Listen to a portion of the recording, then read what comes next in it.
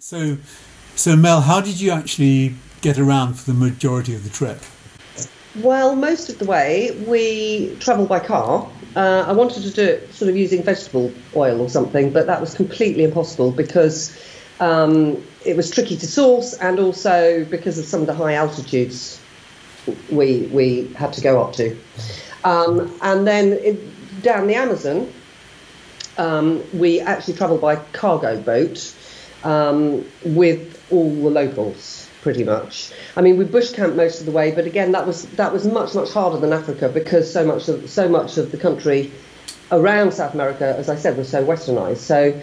it was actually so much of it is fenced off.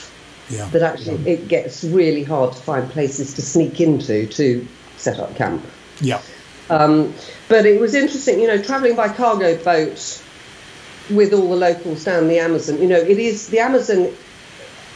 Not only the might and magnitude of, of that river is extraordinary, mm. um, but you know it is their superhighway and it is their lifeline. Yep. So if you like, sort of near the the um, ocean end of the Amazon, I was quite shocked at how many how many massive cargo boats there were. Mm. Uh, you know, tankers, and because it's so huge. Yeah. Um, so we, and it was important for me to travel with the locals to really get a feel of you know everyday life, etc. And you know every single stop we made, I think we used about four different boats actually in all. Um, but you know they'd offload everything from you know plastic products. I was shocked at how many plastic products actually, mostly sugary drinks, copycat you know, ones of um, Western brands, yep. all the Western brands, mm-hmm. um, you know, as well as other products, chicken, building materials, yeah, etc.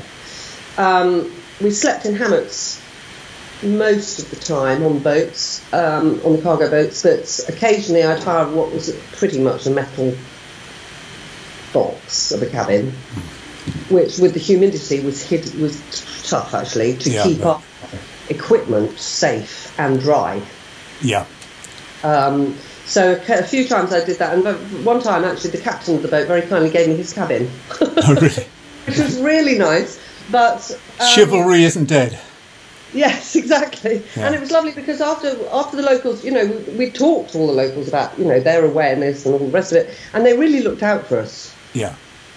Um, and which is important, and um, and actually, it was in the cabin, in, in the captain's cabin, that I woke up one night because there's a huge, sort of foot long rat oh, wow. in the cabin. And, and actually, I'm getting.